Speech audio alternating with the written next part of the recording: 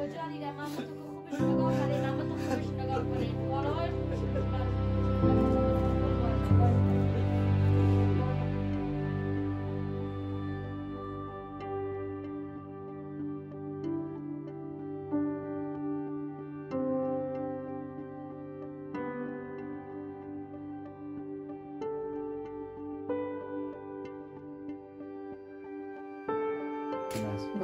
تو نگاه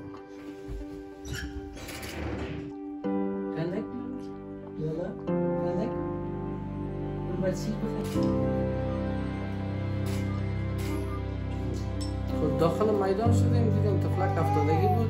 چون از بین میره بسیار وضعیتش خراب بود. بالیدیم و هیچ کس از این از تفلک پیدا نکردیم. کل اگه نشان بدیم هیچ کس پیدا نشد پدر مادرش پیدا شد. در خانه به خانم زنگ زدم.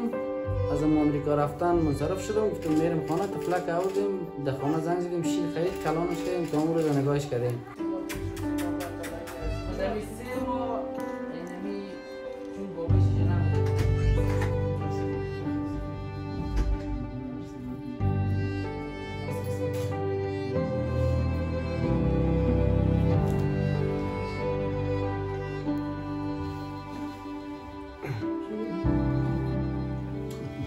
امروز اجدهم ماه جدی.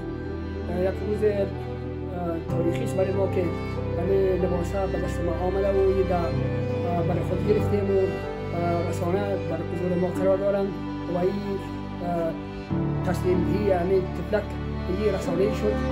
ما بسیار قدردانی می‌کنیم